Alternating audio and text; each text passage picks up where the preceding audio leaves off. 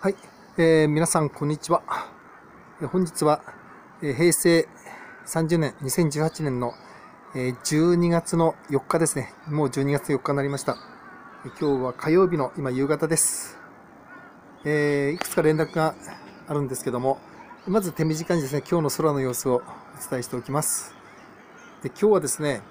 あのー同じ埼玉県の、え真実を求める者さんからもですね、アップロードありましたし、からその他あの三重県のジオリープさんとかですね、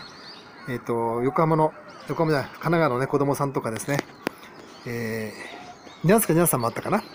要するにそれぞれ皆さんからねそれぞれアップロードありましてね、やっぱりあの基本的に今日も結構巻かれているようなんですけども、こちら埼玉県のね。まあ、この辺り空もちょっと映してきますけどね、まあ、全体的にね、今日一日結構巻かれております。残念ながら。えお日様の方の周りは、えーまあ、全体そうなんですけども、上の方もですね、上の方のこの辺りもね、もうベールかかっていますし、こちら、ずっとこの横の長いのも多分そうなんですね。ずっと向こうの方までね、こっちも、からこちら、の屋根屋根のところにかかって、ひさしのところにありますけど、これも全部相当すごい煙取れる雲です。えーということで、えーこの、このラインも見えますね。こういうラインも見えてますけども、えー全体によく巻かれております。皆さんそれぞれね、あの、各地からね、アップロードしてくださいましてね、どうもありがとうございます。まあ、一つ一つ積み重ねてね、えっと、記録になりますので。で、今日は、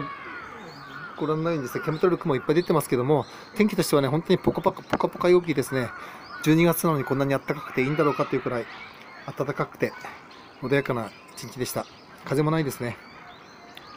あと私の方からの、そう、あの、お礼としてはですね、先日あの、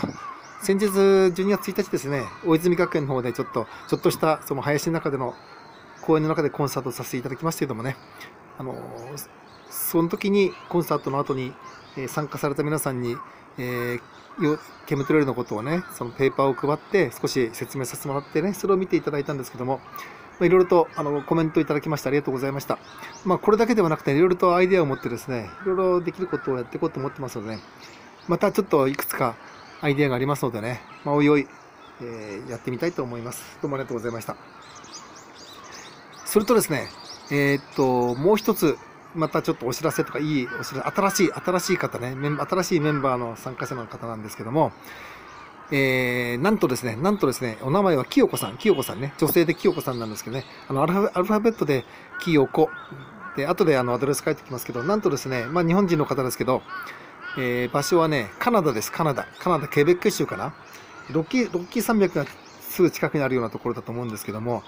えー先日からね、いろいろコメントをくださいましてですね、からケムトレールの雲、様子もアップロードしてくださったんですけどもね、まあ、あの、私の方からですね、あのカナダ、カナダ支部長になってくださいって言ってお願いしましてね、もうなってもらっちゃったので、これから先はですね、あの、カナダからもですね、カナダの様子もですね、えーレポートしてくださくれると思いますよ。やっぱり日本だけではなくてね、その、カナダとかアメリカとかね、そちらの方からのいろんな、その空の様子とともにね、いろんな情報ももらえるんじゃないかなと思うんでね、大変期待しておりますのでね、あの、アドレス書いておきますのでね、これからご覧になってください。で、清子さんは多分ね、あの、その多分というか見てわかるんですけど、あの、その、まあ、教、教会の、教会の方なんですね。だから教会の歌とか、ピアノ、ピアノ、ピアノ弾かれてるんでね、とても上手、素晴らしい声とピアノなんですけど、あの、歌歌ったり、そういうこともいろいろアップロードされてますけど、でもね、それとは別にですね、この空のことについてね、いろいろとレポートしてくれると思うんでね、まあ、よろしくお願いしたいと思います。ということです。今日はね、ということで、えー結構巻かれてるんですよ。うん。残念ながらね。でもいろいろと、そう、真実を求めるさんのね、求める者さんの今日のアップロードでもね、やっぱり怪しいのはね、この辺りでは怪しいのはやっぱり横田基地じゃないかっていう感じじゃない。まあそういう可能性高いですよね。ということです。では、えっ、と、今日は今日の報告は以上です。ありがとうございました。